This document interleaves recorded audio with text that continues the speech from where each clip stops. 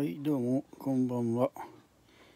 えー、とねブルートレインのねあの色がね、えー、なんか製品によって違うんだよね、えー、この後ろのセットのやつね。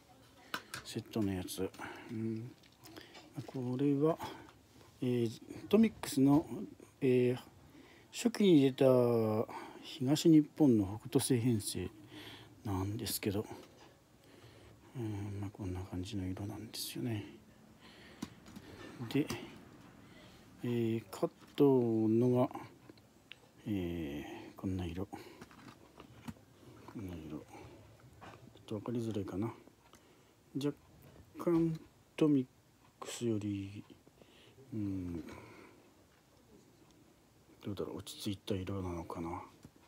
で、えー、まあ問題はね問題は、えー、この後から出た、トミックスのね造血用の限定品のオロハネ24なんですけどね。この色がちょっと紫っぽいんだよね。画像だと分かりづらいかな。よいしょ。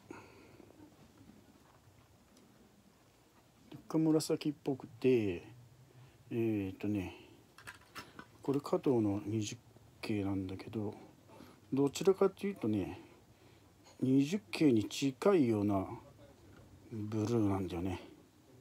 うん。なもんでこれをなんか北斗星の造血用にするとね色があの揃わなくなっちゃうんだよね。うん。まあこんな、えー、感じで。がまあクレームというかねちょっとしょんないなみたいな感じでした。はいおやすみ。